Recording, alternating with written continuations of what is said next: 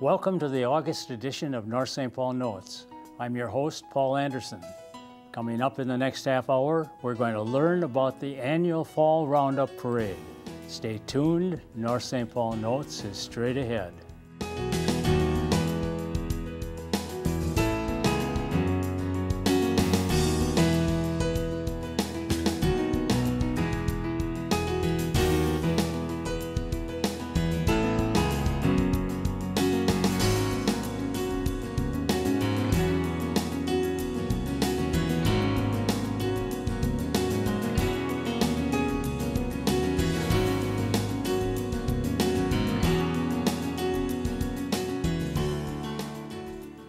Hello, and welcome to the August edition of North St. Paul Notes. We hope this show will keep you up to date on the news and events that are of interest to the residents of North St. Paul. We're still enjoying the summer months, but it's not too early to start thinking about the Fall Roundup Parade. The parade takes place on Thursday, September 13th, along 7th Avenue in downtown North St. Paul. Today I'm joined by the parade coordinator, Elizabeth Kolbeck. Welcome, Elizabeth. Thank you so much for having me, Paul. You're known as the coordinator, but I, I call you the boss. Oh, So that's showing a little more respect and being more specific about you, how you operate, right? I'm not sure I'm worthy of that title. Okay. Well, uh, anyway, Just a humble servant, Paul. is that it? Yeah. Yes. Well, like I, like I said before, you are uh, one of the ultimate volunteers in town. So uh, we're grateful for the fact that you do take on this job. And how many years has it been now? I was trying to figure out, I think it's five or maybe six. Wow. Yeah. You have great endurance and uh, are able to take a lot of abuse too. Very, Maybe not. Very little. I think people have been awfully kind to me, actually. Maybe they're just so grateful that you take that job that they don't want to antagonize you. There you go. Well, um, just so our viewers know, have you been in, in the business, in business in North St. Paul very long? And, and why don't you tell us about that business? What is it? Thanks for asking. So, we have a hair studio. It's called Bakkenwood Hair Studio. And the name comes from? My business partner and I, Maura, put our maiden names together. Okay. She's Maura Bakken, uh, her maiden name, and Elizabeth Wood was mine, so we put them together to make Bakkenwood Hair Studio. Okay. Yeah, I imagine you get that question fairly often. we do. A lot of times the name Bakken really lights a spark in people, and they say, well, Where do you get that Bakken? yeah. And so, yeah, it's a good conversation starter. So what is your partner's name now? Mora. Mora. Mora Humsey. hum, Humsey. Humsey. Okay. Mm-hmm. I guess I, I don't know if I ever heard that. I guess I probably did, but I forgot. Yeah. Yeah. And uh, it's actually 10 years ago this month uh, that we opened the studio. 10 years Yeah, goes fast. doesn't it does go fast. We're trying to do 10 fun things this year to commemorate our 10 Okay. year. And where are you located? Um, we're in the same building as Subway on 7th Avenue East in North St. Paul, Okay. just kitty corner from the History Museum. Right. Well, everybody knows where the History Museum Well, is. they know where one of the museums is anyway. the Scouting Museum is right across the street from you. Right. So, but being next to Subway it prob- probably gives you more uh, visibility than anything else. Yeah, So that's a good good location it for is you. a good location. We love our neighbors. hmm And is it just two of you in the business? So there's three of us all together. Okay. We have another gal that uh, manages with us, and her name's Erin Dobrin. Okay. And uh, so we've been together, all, the three of us, all 10 of the years. Oh, you have? Mm-hmm. Okay. I guess I, I haven't met Erin before, but She's a wonderful lady, so okay. Yeah. yeah. Um, We're lucky to have each other. I guess so. Yeah. Sounds like you all get along, and after 10 years, you probably will continue to get along. Yeah. Yes. So, um, I was just going to mention that there is quite a long history of parades in North St. Paul, as I may have mentioned before to you. But um, uh, the earliest one we have a record of uh, is the is the 25th anniversary of the city in 1912. Oh, wow. And that was a big parade, and we have pictures of it, and I, I hope we can show that sometime during the, during the show. Uh, this is the one that had floats and had uh, people dressed in costumes and uh, uh had a number of horse units.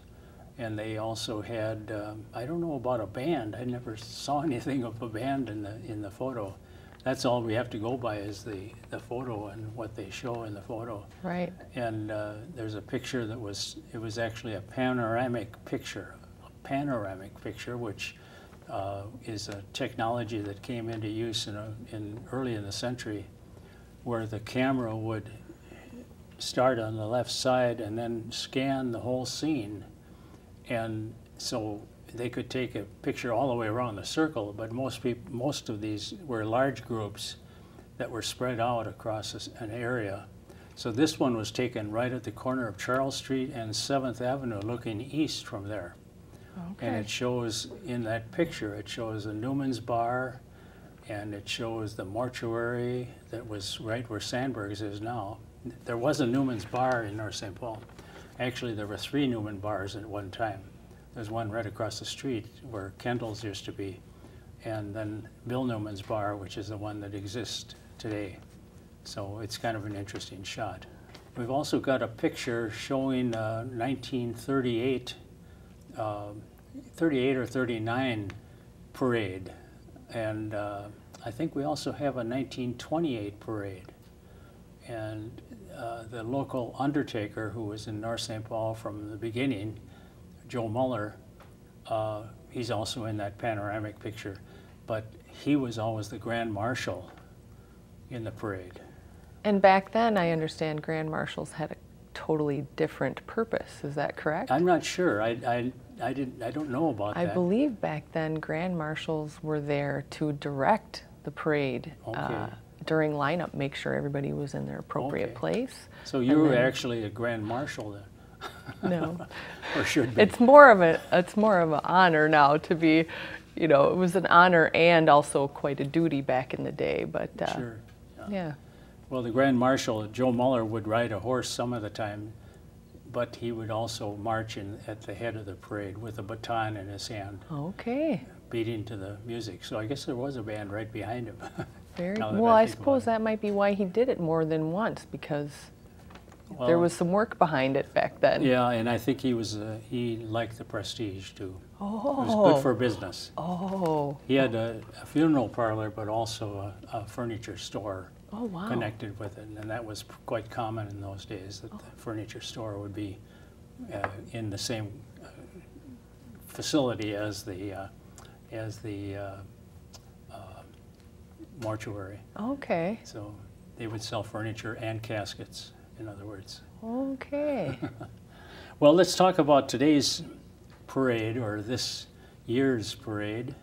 And uh, I understand you have a few units signed up now, but there's still a need for more. There's room, yeah. So there's okay. still time. Uh, the deadline to apply is August 13th.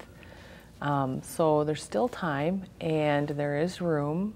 So if anybody's out there that wants to be in the parade that still hasn't applied, you can go on the city website or you can go on to the History Cruisers website and get your application there. Okay. And uh, you can email it in, you could mail it in, or you can hand it in. Sure. Whatever's most convenient for you. Okay. Now, how many do you have now so far? So far, I think we're up to 22. Okay. Which is. Typically, you have. Um, Usually we're in the 60 range. We have to cut it off at 70, sometimes less if the units are very large, mm-hmm. just because we can't be going on too too far after uh, dark for right. safety. And at, by that time, the the days are shorter, and right. so darkness comes maybe seven or seven thirty. Yeah. And it's uh, hard to view the parade in in the dark. In the dark, so it's I always say it's the best parade in the state of Minnesota because it's short and sweet. Yeah. And uh, yeah, we, we have a lot of um, giving participants that always hand out a lot of good things to the kids. Sure. There's food vendors there. Um, and uh, it's a good time. There's always, you know, the Vulcans and the clowns and the mm-hmm. bands. Of course, your favorite, we have some uh, Scottish pipe and drum going to be joining us this year. So I'm sure you're going to I enjoy mentioned it. something about the, the pipes, the bagpipes, and There's a uh, backstory I've there. had some experience with that. Not playing, but listening sometimes. Right. Um, but I don't listen very often, so I'll probably hear them this year. Yeah. Maybe even if I'm not downtown. Right. if you're feeling nostalgic, right? Yeah, right. that's that's what I need. Tell us more about some of the entry, entries you have so far. So, um, one thing that we're really excited about is our Grand Marshals. We have two. Um, they're World War II veterans, um, and they uh, live right in North St. Paul at Polar Ridge. Um, we have Bill Hewitt. Um, Mr. Hewitt, um, he's a young veteran at 92 years old. Right. Yeah. Um, he uh, was a pleasure to talk to. And uh, he had a business in Mahtomedi after the war Sure. um, that did very well and continues today. I believe they're merging with another big company, um, Hewitt Manufacturing. Okay. Um, we have Don Fitch. Um, Don Fitch was a East Sider. Uh, many people might know him by owning the Sherwood Lounge, Okay. for which he just sold two years ago. Is that was that on White Bear Avenue? or- Yeah. Okay. mhm. Sold that two years ago at the age of 92. Wow. Um, so he's starting to starting to slow down, Sure. deciding to retire, I suppose. yeah. Um, but uh, they were both a pleasure to uh, to speak to, and Sure. what a gift it is that they're going to join us in the parade and and uh, you know give us their presence and What a gift it is that they're still with us. right Too. exactly yeah. Because most of the World War II vets now are either in their late 80s or in their 90s. So yes uh, so it, it's interesting always to talk with those folks. They It- always have some stories to tell. and they're so they were so generous in speaking with me I I was Good. really humbled by the time that they gave Sure. to talk to me and Great. I look forward to talking to him more. Yeah. Yeah. I talked to um, Mr. Miller as well, who's a volunteer at the uh, History Museum on Right. Saturdays. George Miller. Yes, also a World War II veteran. and also a former businessman, businessman in North St. Paul. Right. He, his family started, his father and mother started Miller Shoes, Mm-hmm. and uh, then he continued after the war. He continued in the business and took it over later on. So, uh, yeah, he always has some interesting stories. He was a veteran of the Battle of the Bulge, Yeah. which was a pretty scary experience. So, had some real um, experiences that yeah, make you wonder how he made it through. So, Right. yeah. What else do you have coming? Well, let's see. Look at my list here. I thought you'd have it all memorized. I, I have I have a bit memorized. Um, some interesting anniversaries we have this year. So the American Legion Color Guard is celebrating their hundredth year, um, and then uh, the Oakdale Summerfest royalty is cel- celebrating their thirtieth year. Um, Apollo Heating and Air Conditioning, which I noticed, is moving um, from their location on 36 and Hadley down to 36 and 61. Um, They're celebrating their 38th year. So, and we're celebrating our 10th year. So, a lot of, yeah, a lot of anniversaries. But, you know, we really like a good marching band. Sure. And of course, we're going to have the United Marching Band of District 622. So they're comprised of 8th through 12th graders from District 622. And, Both Tartan and North. yep, and John Glenn in Maplewood. Oh, sure. So all of these kids have been marching in numbers of parades all spring and summer long, and I believe that the Fall Roundup parade is is their last parade, Oh. yeah, of the season. Okay, for so the that's season. that's yep their grand finale. Um, I know some people would like to see more bands. What What's your answer to people when they when they say about something about wishing they had more bands? Right. Well, um, we're very fortunate that the District 622 United Marching Band is top notch. Mm-hmm. But a lot of the bands that you see at parades um, that are like college bands and of the higher caliber, they charge a pretty good fee. Right. So it depends on what you can afford as well. Sure. Your budget doesn't allow for some of the big, Not all the big time. band Right. groups. Right. Yeah, and they are, they go all over the country and compete and, and uh, so they're excellent bands, but, and it'd be fun to see them, but it's not really practical for Not for all the time. Right, right. Okay. So, anything else that you uh, can think of? That, Um, The Northern Lights Show Choir is always a wonderful performance. Oh, sure. So, um, fun fact we always have the D- District 622 marching band at the front of the parade Mm-hmm. because there's a fair number of those kids that are also in the show choir. Mm-hmm. Um, so, they run back on the parade route to get to the end of the parade where the Northern Lights Show Choir then performs as they go and they're last. So a lot of those kids that you see that just didn't went through the line with the marching band are also in the uh, in the show choir performance. Uh, so hard workers and Sure. Great performers. That, re- that reminds me of something I didn't mention about the uh, panoramic pictures. oh, When this camera would scan the scene, go across the scene that they were f- photographing, some of the people on the far end would run around behind the group and get in the picture again. So some of those you see have people in the picture t- in two different locations. So that's that was a favorite trick. I thought that was just like a modern thing that kids did nowadays with their panoramic No, pictures. And these were usually adults. Wow, that's that's Yeah. a pretty cool It's, fact. it's kind of fun. yeah. Yeah. So, um, do you do you have any other groups that you want to mention? Well, let's see.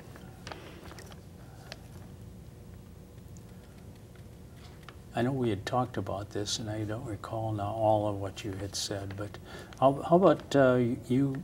Always have some politicians in the in the Oh, there's too. one, um, one that's applied, uh, and it's for Ramsey County Sheriff.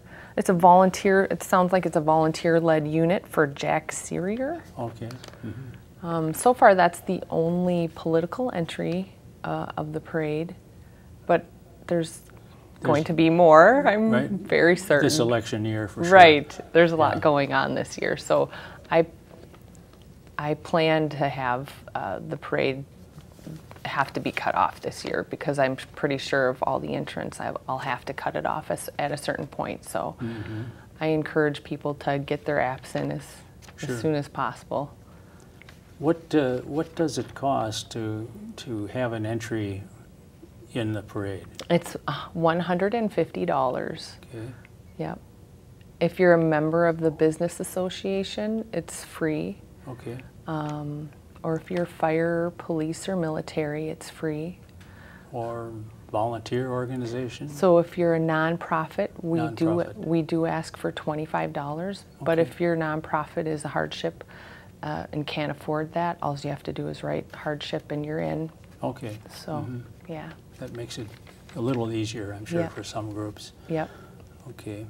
Um, what about volunteers? How many do you use?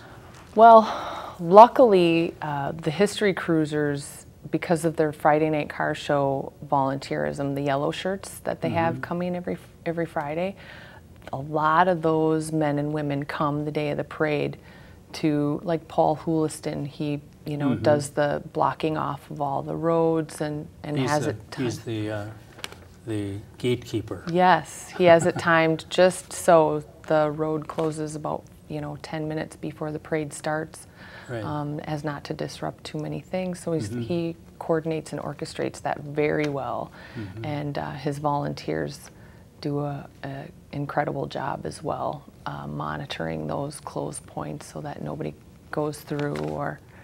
Um, so through the um, history cruise volunteers, we, we kind of are able to um, get that parade route moving smoothly. Um, we do, we could use a few more. So Sure. I could use um, a couple more people to help out. So if anybody's interested in helping the day of the parade, um, putting stakes in with numbers to where units Sure. go on the street, that would be a great help. Um, also, somebody to help um, or shadow uh, with a clipboard and um, make sure everybody's lined up appropriately and uh, if anybody has any questions. Sometimes you need, one year we had a Zamboni come Oh. and uh, there was a, there's a pretty good incline where we line up. There and, is, yes. And so he parked on the upper hand side of that hill. Okay. And I just went and talked because I noticed he was a Zamboni and a little out of order. I said, Hey, what's going on? He says, Well, I don't think I can get that Zamboni up that hill. Can I just wait here until my unit number? I said, You bet. So Yeah. there's little things like that uh, that come up that it would be nice to have somebody uh, help out with as well the day of the parade. So, things Things the. Grand Marshal used to do in 1900. yeah, right. and- yeah. 1928 Right. or, or even earlier than that. Right, that. right. Um, yeah, I guess you kind of you do some of your planning on the fly Yeah. as you're going, and, and so Yeah, you're forced into it. right. It's it's understandable because Yeah. you you can't anticipate everything that might happen. Very true. And so so far, nothing really serious has gone wrong. Thank goodness. and and that's always, you know, um, something I'm really cautious about. Yeah. I always tell all the units, you know, if you're going to hand out candy or goodies, please hand it out. You know, Okay. n- don't throw it from your vehicles because if it That's- lands in the, your intention is to get it on the sidewalk. Well, that doesn't always happen.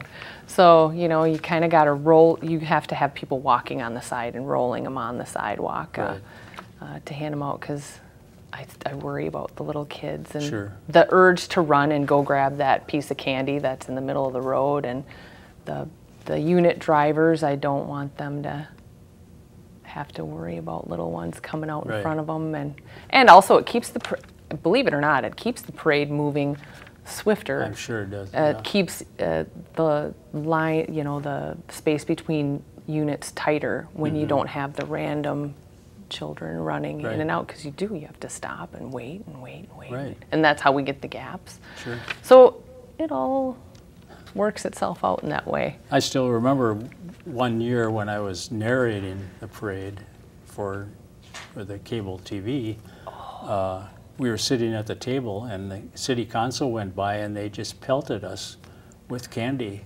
Now, I, there has to be laws. And I there has to be laws against doing that. Well, you know, you can't control the city council sometimes. Jeez. Gee, I didn't. I didn't realize I had so many enemies. Where are their manners? That's right. I tell Who you. knows? Who knows about some people, right? Right? Well, um, I appreciate your coming on the program, and uh, we're just about out of time, but uh, I'm hoping to get some of those photos, the, the old photos, on the air too, and we'll see how that works. But uh, it's been fun talking to you again, and I, I don't know how many times you've been on before. I guess you don't remember either. I think um, I think I was first on in 2014. I want to say. Okay, yeah. Yeah. I, I looked back in my notes and I couldn't find where you were, and so it might have been when you were with somebody else, and they just didn't. And then I think we were just you and I that first time, and then I was lucky enough to be joined with Summer Splash Sure. and Paul Houliston from Right. Cruisers, and and uh, so that was nice being in the large group as well. For sure, takes the pressure off, right? Yes, it does.